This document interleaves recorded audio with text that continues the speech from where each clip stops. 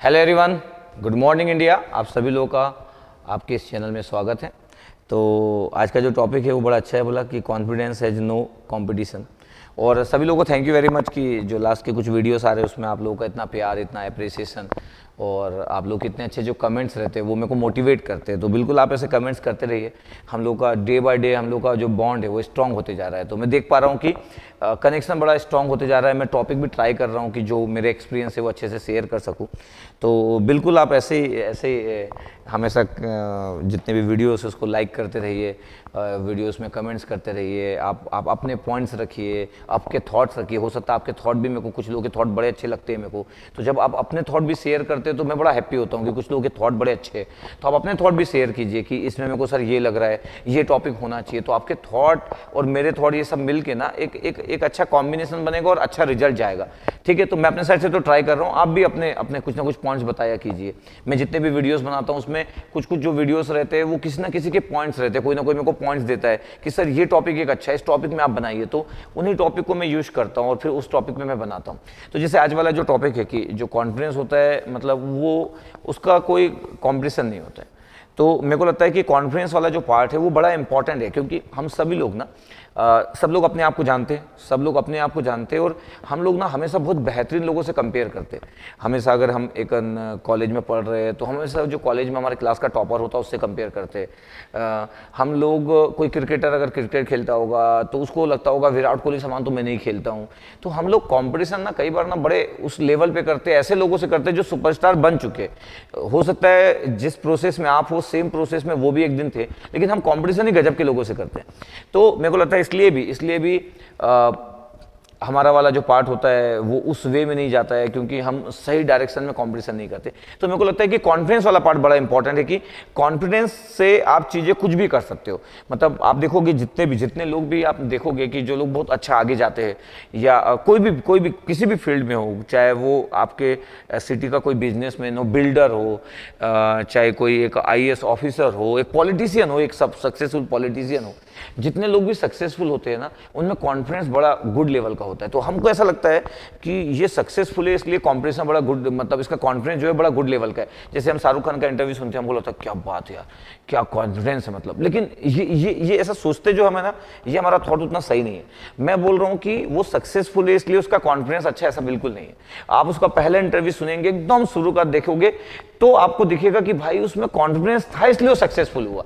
तो वो ना सक्सेसफुल है, इसलिए इसमें कॉन्फिडेंस ज़्यादा नहीं है। हमारे सोचने का तरीका चेंज होना चाहिए। उसमें कॉन्फिडेंस था, इसलिए वहाँ तक पहुँच गया। तो कॉन्फिडेंस बहुत बहुत इंपॉर्टेंट पैरामीटर है। आपके लाइफ का बहुत ही इंपॉर्टेंट पैरामीटर है। इवन कॉन्फिडेंस आपसे कई बार चीज़ें अच्छी अच्छी चीज़ें करवा लेता है। और जब आपके पास कॉन्फिडेंस नहीं रहता तो हम हमेशा डाउटफुल माइंड में रहते हैं। आपको लगता है, ये सही है, वो सही है? कॉन्फिडेंस नहीं होने से ना, लोग कई बार बड़ा एग्ज़ाम क्लियर नहीं कर पाते। उनको लगता है, मैं कर पाऊँगा कि नहीं कर पाऊँगा? तो जब आपके पास कॉन्फिडेंस नहीं है तो फिर चीज़ें वैसे ही नहीं जा पाती है। और तो मेरे को ऐसा लगता है कि कई बार बड़ी बड़ी चीज़ें हो जाती है, आप ध्यान देना कई बार। आप अगर एग्ज़ाम अगर एग्ज़ाम यूनिवर्सिटी के एग्ज़ाम की बात करो, आप इलेवन ट्वेल्थ के एग्ज़ाम की बात करो, कई बार आप रात रात भर पढ़ते थे और आपको आपको लगता था कि कुछ चीज़ें मैं भूल रहा हूँ, कुछ चीज़ें को याद नहीं आ रही। आप रिविजन भी करते थे फटाफट और कुछ चीज़ें आपको याद नहीं आती थी। फिर आपको लगता था पता नहीं, लेकिन आप याद रखिए कि जिन लोगों को कॉन्फिडेंस होता है, वो एग्ज़ाम में एंट्री मारते और क्वेश्चन देखने के बाद उनको याद आ जाता है। तो कॉन्फिडेंस बड़ा मैटर करता है और जिन लोगों को कॉन्फिडेंस की कमी होती है, उनको ना डाउट बहुत आते हैं, फिर उनको समझ नहीं आता। तो कॉन्फिडेंस एक बड़ा इंपॉर्टेंट पार्ट है किसी के भी लाइफ का। और कॉन्फिडेंस सिर्फ़ एग्ज़ाम के पॉइंट ऑफ़ व्यू नहीं बोल रहा हूँ इन जनरल ज़िंदगी जीने के पॉइंट ऑफ़ व्यू से। कॉन्फिडेंस बड़ा इंपॉर्टेंट है। वो पता है कॉन्फिडेंस से ना आप, आपके बात करने का तरीका चेंज हो जाता है। जब कॉन्फिडेंस नहीं रहता ना तो आप अंडर कॉन्फिडेंस जब बात करते हो ना तो सामने से फेस से दिख जाता है। तो मैं बोल रहा हूँ कि हमारे इंडिया में स्पेशली हमारे इंडिया में नॉलेज पे कई बार लोग इतना कॉन्फिडेंस नहीं होते जितने फेस पे होते हैं। मतलब एपीरियंस वाइज होते फ़िज़िकल एपीरियंस वाइज लोग ज़्यादा कॉन्फिडेंस रहते हैं। कोई लड़का बड़ा स्मार्ट दिख रहा है और उसको तीन चार लोग, उसकी तीन गर्लफ्रेंड है, उसको चार पाँच छः लोग दिन भर मैसेज करते कब मिलोगे, उसका कॉन्फिडेंस नेक्स्ट लेवल है। समझ रहे हो ना? और और अगर एक स्टूडेंट उसी का फ्रेंड है जो बड़ा इंटेलिजेंट है यार, बड़ा इंटेलिजेंट है एकदम, उसके समान कोई नहीं होगा। लेकिन उसका बड़ा, उसका लुक बड़ा नॉर्मल है और उसकी कोई गर्लफ्रेंड नहीं है। तो कई बार वो अंडर कॉन्फिडेंस में आ जाता है कि साला मेरा मतलब लाइफ में कुछ अच्छा होगा कि नहीं होगा? तो हमारे इंडिया में ना लुक वाइज जो चीज़ें बड़ी बड़ी डिफरेंट है। हम लोग ना लुक वाइज चीज़ों को वैल्यू देते हैं। हम देखना आपके पास कि हमेशा उन लोगों का रोला रहता है कॉलेज वगैरह में गर्ल्स में भी जो अच्छी दिखती है। भले चाहे उसको केवियर लगाना नहीं आता होगा। है ना, उसको क्रिचअप करंट लगाना नहीं आता होगा, लेकिन अगर वो अच्छी दिखती है, उसको दस लोग अगर प्रपोज मार रहे हैं हर एक महीने के अंदर में तो उसका कॉन्फिडेंस लेवल नेक्स्ट लेवल रहता है नेक्स्ट लेवल और उसी बेसिस पे, जैसे मैं बॉयज़ की बात कर रहा हूँ तो वैसे गर्ल्स में भी किसी को लगता है कि मेरा लुक उतना बेहतरीन नहीं है, और मेरे को कोई बहुत ज़्यादा, मेरे को गुड मॉर्निंग या मेरे पीछे कोई नहीं पड़ा रहता तो लोगों का कॉन्फिडेंस डाउन हो जाता है। मेरे को समझ नहीं आता कि क्या इतना इंपॉर्टेंट है, और पता ये जो चीज़ें हैं ना, ये सब ना कुछ समय तक तो काम आती है, कुछ समय तक दिखता है, लेकिन ना लॉन्ग टर्म में, ना लॉन्ग टर्म में ये चीज़ें काम नहीं आती। लॉन्ग टर्म में वो जो नॉलेज है, वो किस वे से आप बढ़ रहे हो, वो बड़ा इंपॉर्टेंट है। एक समय के बाद लोग जो, कोई अगर बहुत ब्यूटीफुल दिख रहा है तो मतलब वो कब तक कब तक कब तक ऐसा रहेगा बताओ ना, कब तक? सब लोग सलमान खान तो नहीं बन जाएँगे, नहीं? ऐसा थोड़ी होता है आपके पास। तो कब तक रहेगा? तो मेरे को लगता है कि जो परमानेंट चीज़ें हैं ना, वो वो इंपॉर्टेंट है बोला। और सेकंड चीज़ मेरा ऐसा मानना है कि जब आप सक्सेसफुल होते हो नॉलेज वाइज सक्सेसफुल होते हो आपके फेस में वो ग्लो दिखना चाहिए नॉलेज का ग्लो दिखना चाहिए। आप ना ज़बरदस्ती दूसरी चीज़ पे फोकस मत किया करो। तो कॉन्फिडेंस बड़ा इंपॉर्टेंट है। मैं आपको एक बेसिक सा एग्जांपल बता रहा हूँ कि आ, मैं इसलिए इस बात को समझ पाता हूँ कि आ, मैं चार साल बी किया फिर मैं मैं अगर सोचूं इलेवंथ की इलेवन से बात करता हूँ तो टेंथ के पहले तो बात नहीं करता हूँ। इलेवन से समझ आना चालू होता है कि आ, आप आप कैसे लगते हो कैसे आपको लोग लेते हैं आपको लोग पसंद करते हैं कि नहीं? बॉयज़ है तो वो सोचता है कि मेरे को गर्ल्स लोग लाइक करती है कि नहीं? गर्ल्स है तो सोचती है कि बॉयज़ लोग लाइक करते हैं कि नहीं? तो इलेवन ट्वेल्थ फिर एक साल में ड्रॉप लिया चार साल की बी किया। तो मेरे को लगता है कि मैं सिर्फ़ सेवन ईयर्स की बात कर रहा हूँ। इन सेवन ईयर्स में मैं एक बार भी ना कोई भी कपड़ा ना शर्ट सेवन ईयर्स में सेवन ईयर्स में एक भी शर्ट में डार्क शर्ट नहीं पहना। पता क्यों? मेरे को लगता था कि आ, मेरा कॉम्प्लेक्सन तो डार्क है मतलब इतना इतना बेहतरीन तो दिखता नहीं हूँ मैं। तो मेरा कॉम्प्लेक्सन डार्क है तो मेरे को लगता था कि मैं डार्क शर्ट पहनूँगा, वैसे भी डार्क है तो बड़ा ऑड हो जाएगा। ये मेरे को कोई बोल दिया या मैं फील कर लिया आई डोंट नो लेकिन मैं ऐसा मान के चला ना, सात साल तक मान के चला और मैं हमेशा लाइट पहना कि भाई लाइट में ठीक ठाक है ओके ओके ओके ओके चलेगा करके। मतलब हम लोग जब हर चीज़ को उस एंगल में देखते हैं तो हमारा कॉन्फिडेंस बड़ा कम हो जाता है। अब देखो मतलब अब अब अब मैं इस स्टेज में आ गया हूँ कि अब अब कोई फॉग नहीं पड़ता, अब कोई फॉग नहीं पड़ता। अब तो मैं देखो मैक्सिमम समय ब्लैक कपड़े पहन के रहता हूँ और मैं फुल कॉन्फिडेंस में रहता हूँ फुल कॉन्फिडेंस में। ऐसा तो है नहीं कि मैं पहले जो था वो आज में मतलब मैं एकदम इस, मैं एकदम से मेरा कलर चेंज हो गया और मैं मैं एकदम से बेहतरीन दिखने लगा। मैं तो वही हूँ ना जो पहले था।